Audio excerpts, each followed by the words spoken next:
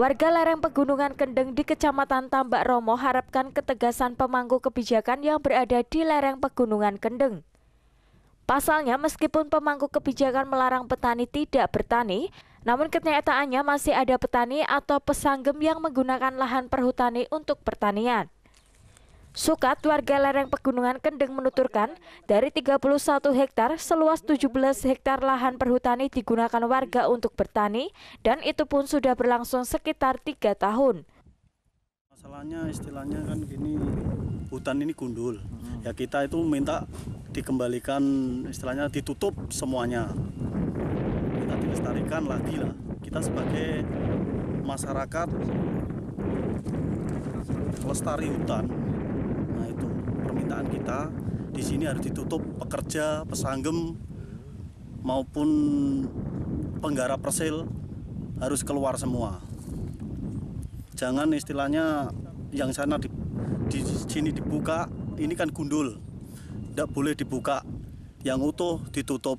Nah itu aja lah permintaan kita di sini harus ditutup semuanya dari peta 109 ini hmm. harus ditutup Berapa hektar Pak itu? Meliputi Perkiraan. 17 hektar. hektar. Harus ditutup semuanya.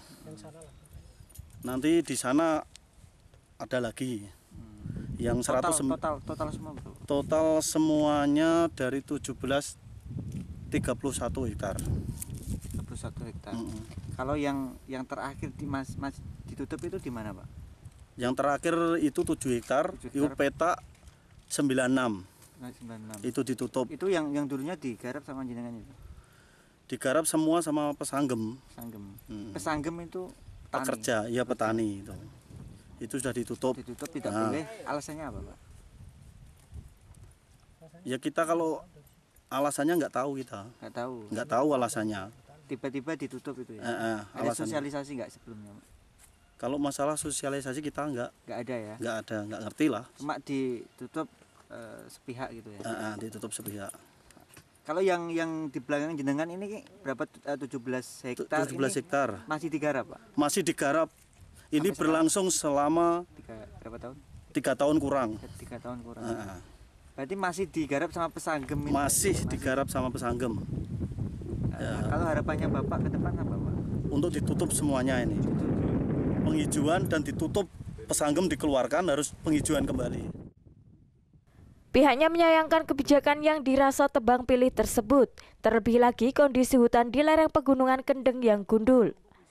Warga berharap dinas terkait dapat tegas terhadap kebijakan larangan untuk tidak bertani di lahan perhutani yang berlaku bagi semua warga lereng pegunungan Kendeng. Dian Utoraji, Simpang 5 TV, melaporkan.